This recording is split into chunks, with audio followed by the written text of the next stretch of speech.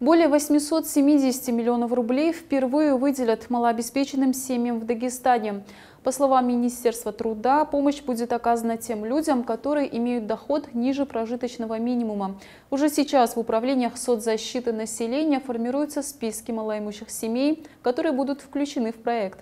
Крупы, масло, чай и макаронные изделия. Более 200 продуктовых наборов с товарами первой необходимости. Раздают их здесь, в Дербенте, малоимущим семьям. Подобные акции проводятся социальными работниками на постоянной основе с участием меценатов. По поручению министра труда социального развития Республики Дагестан Изумруд Мужаевны малоимущим семьям, инвалидам, нуждающимся многодетным раздаем продуктовые наборы, спонсорская помощь. Насрула – участник чеченских событий. В молодом возрасте стал инвалидом первой группы. В связи с этим мужчине сложно содержать семью. По его словам, такая забота со стороны соцработников помогает верить в добро. Я очень благодарен, что социальные работники навещают меня. Я благодарю очень, что они большую работу делают, что таких, как мы, не бросают, все нам время уделяют.